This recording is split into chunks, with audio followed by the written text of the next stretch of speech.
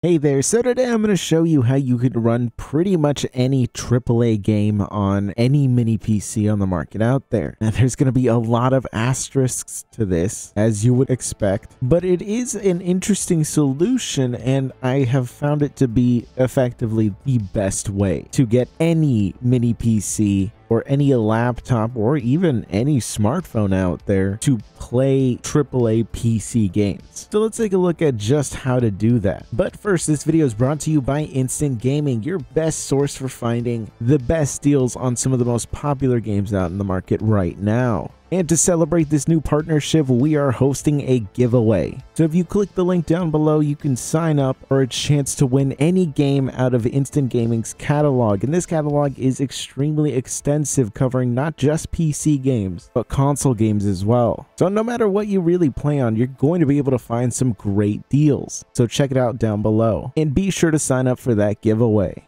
So getting this to work really relies on two things. The system that you see right in front of you right here, and a very neat little program called Sunshine. What Sunshine lets you do is it makes it extremely easy to self-host a game streaming server. What that effectively means is that similar to GeForce Now or Xbox's own game streaming, you can essentially self-host and stream your own games to any device. And the benefit of doing it yourself yourself like this is that one, you have access to your entire game library, and since it's running on your local network, you're going to get maximum performance out of this. But you might be wondering what exactly is in front of you here since there's not even a graphics card. Well, this is essentially the remains of my previous main editing computer, which had a Ryzen 9 3900X and an RTX 3070 Ti, all of that running with 64 gigabytes of RAM on this X470 Gaming Pro Carbon from MSI. It was a fantastic system that I've used for, I think, about three years now. The main problem that I ran into is that recently, after replacing my main system with a i9 12900K that I got from Micro Center on a great deal. I had this just running while I was testing out some stuff and it just shut down. Looking into it, what I can pretty much bring everything down to is the fact that the CPU somehow died. I'm not 100% sure what exactly caused it to die, but it's dead. So I had to pretty much come up with a solution as to what I wanted to do here. Luckily, I had a 5600X3D that I picked up from Micro Center for around $160 when they were on sale a good while back, and I kind of had it just sitting around not doing anything. So I figure if there's any system that would be great for it, it's this, since this motherboard is fantastic. The cooler on it is absolutely overkill for this little Ryzen 5, and all that it really came down to was what I was going to use for a GPU. See, my main graphics card is this RTX 3070 Ti,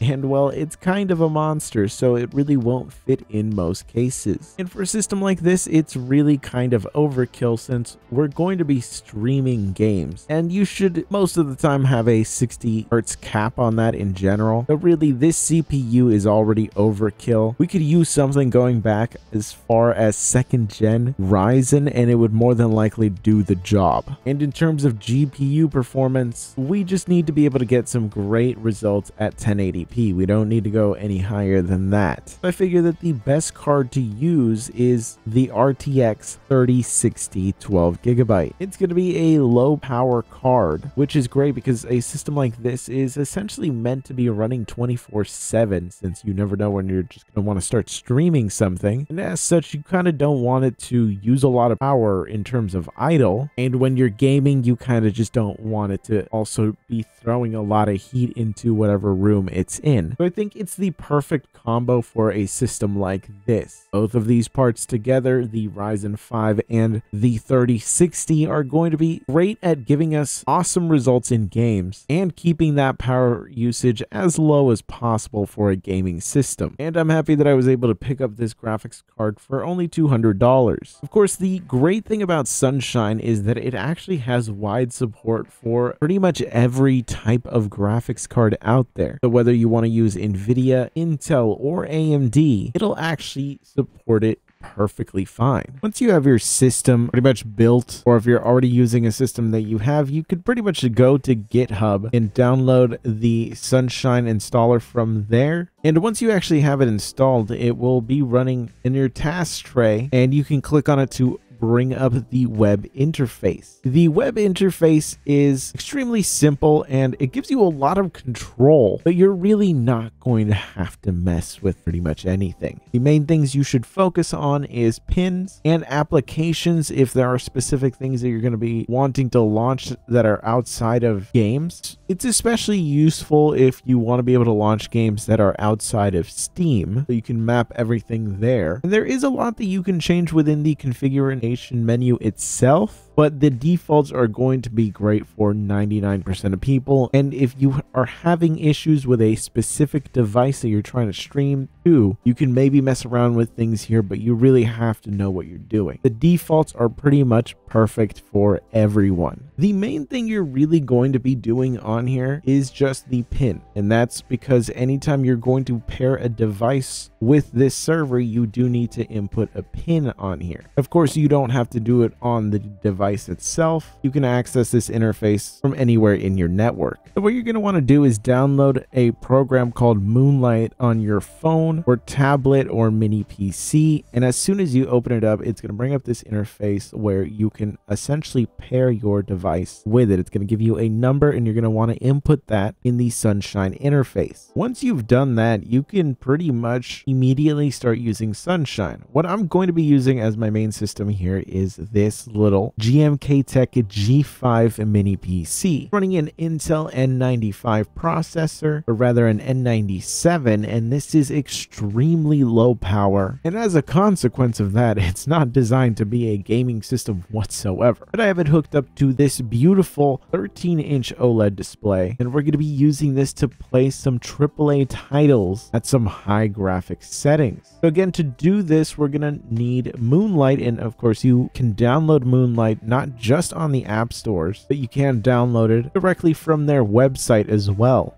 Of course, just like before, as soon as you open it, it's going to prompt you to pair it. So you input the code into the Sunshine interface, and just like that, you're paired. Within the Sunshine app, you're actually going to find quite a lot of settings, and here I am going to turn up the resolution to 1080p, and I can adjust the bitrate, and I'm going to turn it up a bit but I don't want to go crazy with it just because I want to go with something that's a little bit realistic for what most people would use. Most of the settings here you really don't need to mess around with unless you're running into issues and the defaults are going to be good for the vast majority of people. And really all we have to do is click on the computer itself here and now we can either launch directly into the desktop or go into Steam and Steam will be launched in big picture mode. And this is great because I'm using an Xbox 360 controller paired with this little mini PC and it makes the experience here absolutely wonderful. Here you can see some of the games that I have installed. We're going to jump right on into Fallout 4 and just see how it performs. So while trying to launch the game, we do run into our first issue and that's the fact that because it's a first time launch, it brings up this little interface here. Now, the Xbox controller does not work with this interface at all. I need to use my mouse to actually fix this. A pretty simple solution, but it is annoying to see. And depending on the device that you're using, can sometimes become very inconvenient to try to interact with. Man, oh man, does Fallout 4 look great on this little OLED display. This is a 1080p little OLED display that I managed to pick up for $80 open box. And it looks absolutely gorgeous. And the game is running at the ultra graphics settings. It really is great. And as you can see by the performance numbers there, it might be hard for you to read, but we are getting a consistent locked 60 FPS. And that makes makes sense because all this little mini PC is doing is it's rendering a video. It's not rendering a game. It might as well be watching a Twitch stream or a YouTube video or Netflix or anything like that. We're just streaming video to this device and that's what a little mini PC like this excels at. That's what they're designed for. They're extremely underpowered for being just four cores, but the media engine in here is so powerful that you could effectively watch anything on here and not even use that much power. I'm trying to do Ghost of Tsushima, but the part that I'm in is just so dark that the camera is just not capturing this well at all, which is really unfortunate because the OLED display is showing the contrast so beautifully and it just looks so bad on video. But we are running the game at the high graphics settings and again, great experience, absolutely minimal latency while actually gaming. The video is playing back at 60 FPS, no problem whatsoever. So neither the mini PC or the desktop itself is having issues running the game at all. So switching over to something that's noticeably brighter, here we have Monster Hunter Rise. This is running at the high graphics settings. The game does support DLSS, but we just don't need DLSS in a title like this. In fact, while I don't recommend ever streaming a game at 120 hertz, if there's anything that's going to run that well, it's this. But of course, this OLED display only goes up to 60. There's no point for us to test that here at all. That being said, there are some phones out there that have displays that go up to 144 hertz or higher. So it's not completely out of the question to want to stream games like that. I just feel that most of the time it's not worth it because your biggest limiting factor is actually just going to be the controller you're using. The latency on that is more than likely going to be high enough that any benefit that you'd have from a high refresh rate display is going to be lost. That said, I'm really impressed with the results that we got here. All of the games that we played on this system ran really,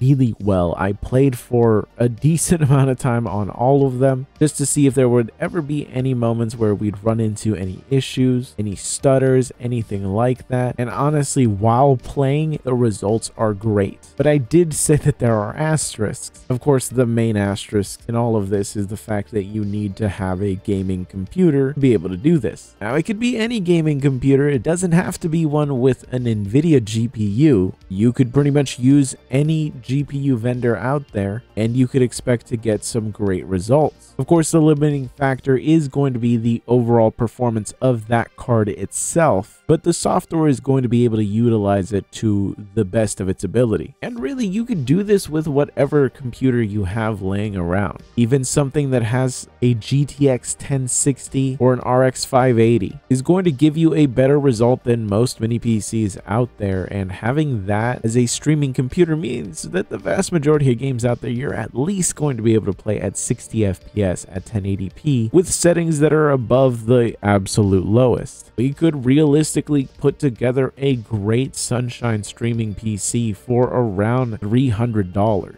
And with that, you could throw $100 mini PCs into any room that you want in your house, and you now have systems that are capable of playing AAA titles with great results. And if you're using Ethernet, you're going to get some great results. That's another one of the asterisks here. This is heavily reliant on your internet connection because both systems that are communicating with each other here are on Ethernet within the same network the results we're getting are absolutely fantastic. If I was on Wi-Fi, it might be a different story. The Wi-Fi in my house is just not really that great. We're still using the Wi-Fi router that our ISP gave us, and at this point, it's probably close to eight years old. So because of that, there are limits to just how fast the connection that I can have wirelessly really is. I could go about upgrading my network to get some great results over Wi-Fi, but that becomes an even bigger expense. And in all honesty, it's hard to beat the value of a $30 switch and as many ethernet cables as you need. Sure, it's not a perfect solution because maybe running an ethernet cable within the same room, extremely easy. Running an ethernet cable to a room up an entire floor and three rooms down, that becomes a far bigger problem. And if that's your scenario, then investing in good Wi-Fi is going to pay for itself. But it really just comes down to what you're willing to do. Personally, we've run Ethernet to practically every main computer that is used around here. And as such, pretty much every mini PC in this house could actually hook up to this system and start streaming any of these AAA titles. There are, of course, some crazy stuff you could do with Sunshine where you could have multiple users set up if you have a system with multiple GPUs and a CPU that is really able to actually get split up in a way that isn't going to just produce two really weak systems. And really, you could do some crazy self-hosting stuff with this, but just starting off, if you want to get this set up and you want the mini PCs around your house to be able to game, you could set this up with pretty much any gaming computer that you have out there, and I guarantee you it's going to give you better results than the iGPU in a mini PC like this. I might actually put together a video and show what you can put together on an extreme budget if you want to have a Sunshine system running 24 7, but you don't want to break the bank and you also don't want a power bill that is going to make you cry. There's some interesting options out there. So let me know if you're interested in that. And of course, check out the Instant Gaming giveaway down below. I'll catch you guys in the next one.